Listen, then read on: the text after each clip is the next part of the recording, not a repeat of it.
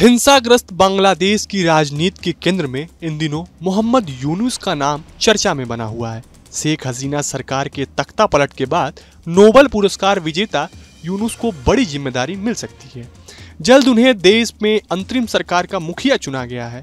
ऐसे में नई सरकार में उनकी भूमिका अहम हो जाती है। ऐसे में हमारे लिए ये जानना काफ़ी अहम हो जाता है कि मोहम्मद यूनुस भारत और अमेरिका को लेकर क्या सोचते हैं। यह तो जग ज़ाहिर है कि शेख हसीना और मोहम्मद यूनुस के संबंध कभी अच्छे नहीं रहे।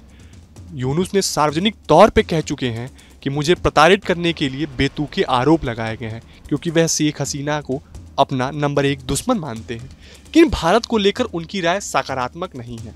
वह शेख हसीना और भारत सरकार के घनिष्ठ संबंधों को लेकर कई बार बयानबाजी तक कर चुके हैं। भारत को लेकर मोहम्मद यूनुस ने एक इंटरव्यू में कहा था मैंने हमेशा कहा है कि भारत के पास बांग्लादेश का बेस्ट फ्रेंड बनने की पूरी पूरी संभावना है। लेकिन फिर भी भारत बांग्लादेश पर फोकस करने के बजाय सिर्फ़ एक शख्स पर फोकस कर रहा है। भारत का संबंध सिर्फ़ एक ही शख्स से है, वह है शेख हसीना। इस वजह से बांग्लादेश के लोग भारत से नाराज़ हैं, क्योंकि वह ऐसे शख्स का समर्थन कर रहे हैं जिसने बांग्लादेश को बर्बाद कर दिया है। बांग्लादेश में भड़की हिंसा पर भारत के बयान की भी मोहम्मद यूनुस ने आलोचना की थी। भारत ने पड़ोसी मुल्क के घटनाक्रमों को बांग्लादेश का आंतरिक मामला बताया था। इस पर यूनुस ने कहा कि भारत और बांग्लादेश शार्क के सदस्य हैं। ऐसे में जब बांग्लादेश की मौजूदा स्थिति को उसका आंतरिक मामला बताता है तो दुख होता है, अगर किसी भाई के घर में आग लगी हो तो आप उसे आंतरिक मामला कैसे कह सकते हैं?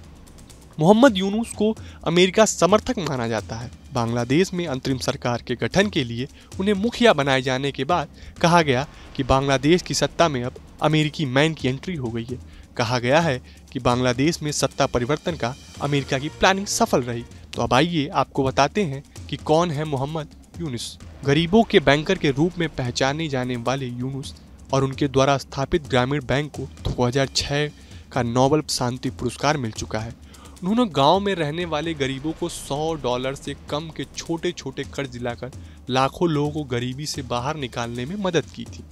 उनके कर्ज देने के इस मॉडल ने दुनिया भर में ऐसी कई योजनाओं को प्रेरित किया। इसमें संयुक्त राज्य अमेरिका जैसे विकसित देश भी शामिल हैं। अमेरिका में यूनुस ने एक अलग गैर लाभकारी संस्था ग्रामीण अमेरिका की भी शुरुआत की। चौरासी वर्षीय यूनुस जैसे जैसे सफल होते गए उनका झुकाव राजनीति में करियर बनाने की ओर बढ़ता चला गया। उन्होंने 2007 में अपनी खुद की पार्टी भी बनाने की कोशिश की लेकिन जब उन, उनकी इस महत्वाकांक्षा ने बड़ा रूप लेना शुरू किया तब शेख हसीना उनसे नाराज़ हो गई। हसीना ने यूनुस पर गरीबों का खून चूसने का आरोप भी लगाया। इसी साल जनवरी में यूनुस पर श्रम कानून के उल्लंघन के लिए छह महीने की जेल की सजा सुनाई गई थी। मोहम्मद यूनुस खान पर दो सौ बावन मिलियन टका के गबन का आरोप भी उन पर लग चुका है। ऐसे में आपको हमारा वीडियो कैसा लगा, हमें कमेंट बॉक्स में ज़रूर बताएँ। देश और दुनिया की तमाम और यूपी उत्तराखंड की हर छोटी बड़ी खबर के लिए न्यूज़ स्ट्रीट चैनल को सब्सक्राइब करना ना भूलें। न्यूज़ नेशन अब व्हाट्सएप पर। खबरों के ताज़ा अपडेट के लिए न्यूज़ नेशन के इस क्यूआर कोड को स्कैन करें।